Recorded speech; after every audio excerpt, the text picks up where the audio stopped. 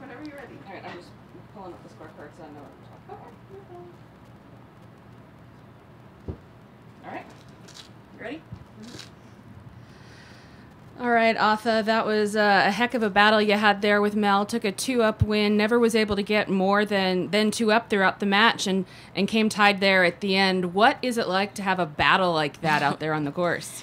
Yeah, as you said, it was a battle. You know, I started pretty good at the beginning, made birdie on one, and got two up through three. But after that, we just kept going back and forth. And you know, we didn't have our best games out there, but it's kind of tricky on this golf course. It's really hard to make birdies.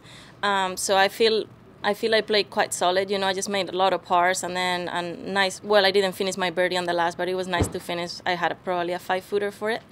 Um, but you know, just happy to get my my first point. And talk us through number 15, if you don't mind, which is where you took the, the one up lead again that you ultimately held to the end.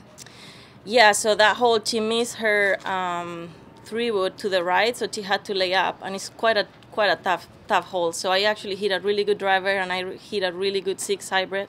Um, so we were probably both 20, 25 feet away. I was for birdie, and she was for par. So I just two putted, and she didn't make her 20 footer. So.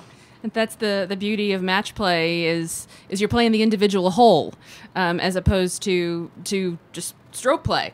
Um, sorry, what are um, what's it like playing out there against someone like Mel, who you've been on teams with, who you know so well, but knowing that one of you ultimately has to come out the winner?